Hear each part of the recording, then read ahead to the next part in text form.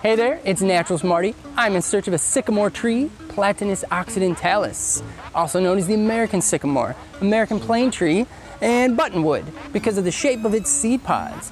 This is a central and eastern distribution tree, big tree, and it grows, really thrives in wet habitats. So that's where I am. I'm near a creek, I'm near a stream. It's in this bottomland forest.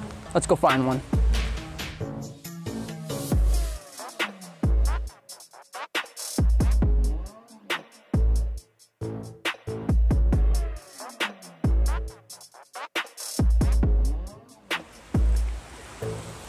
Just as I figured, get down to this stream, we'd find one of these sycamores. They really enjoy keeping their roots wet. Now, how am I gonna get us a closer look? You can tell that's a sycamore by taking a look at the creamy white bark, cut with blotches of green and brown. Let's get a closer look.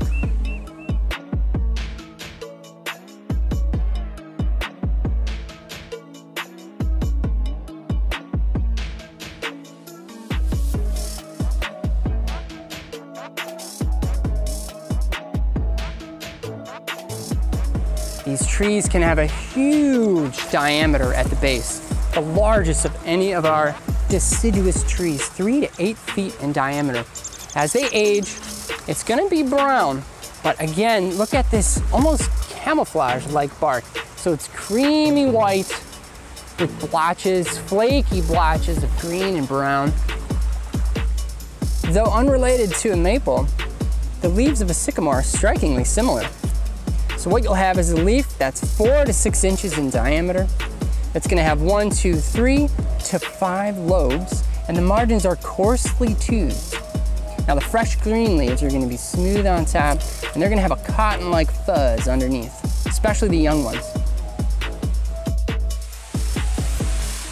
Thanks for coming along to identify the sycamore tree. Super easy tree to identify, even in winter when the tree is leafless you'll spot that camel bark pretty easily. Now Riverside, as this tree grows to its potential of 80 or 90 feet, the bark will turn more white, making it even easier to spot at a distance.